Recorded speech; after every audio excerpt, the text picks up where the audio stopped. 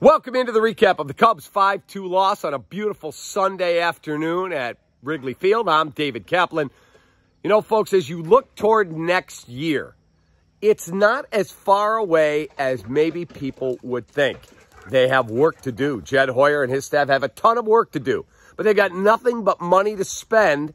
And when you have pitching, you have a chance. Well, guess what? Today, Justin Steele, his ninth straight start where he's been really, really good. Steele has an ERA of 1.47 his last nine starts. Since the All-Star break, this guy has been outstanding. He gave you six innings. As I said, punched out nine. You go to the seventh with a 2-0 lead. Cubs got solo home runs from Suzuki and from Ian Happ.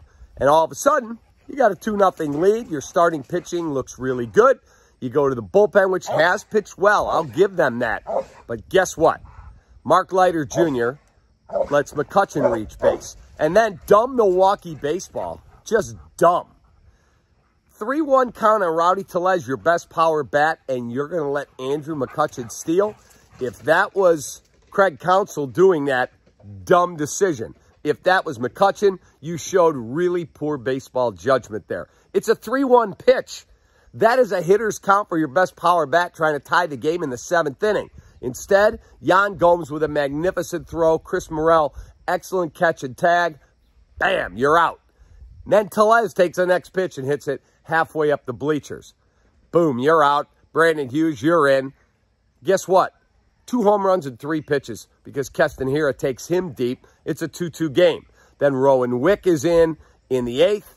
He gives up a run. He had poor command. He had a man on first he allowed to reach. And next thing you know, bounces one in. Then he bounces another one in. Got a man at third, sac fly, 3-2 Brewers. And then the Cubs tried to come back, but they weren't going to get anything done against that Brewers bullpen. Taylor Rogers got his first save since he came over for San Diego in the trade for Josh Hader uh, on August the 1st. But again, Steele, Nico Hoerner, Seiya Suzuki, please re-sign Willson Contreras, Ian Happ, go make a couple astute signings, and Nick Madrigal's been really good since he came back and he's been healthy. You have a chance here. You have a chance to get this thing turned around and get it on solid ground. And your minor league system is moving up dramatically around Major League Baseball, and there's a ton of pitching depth in the system.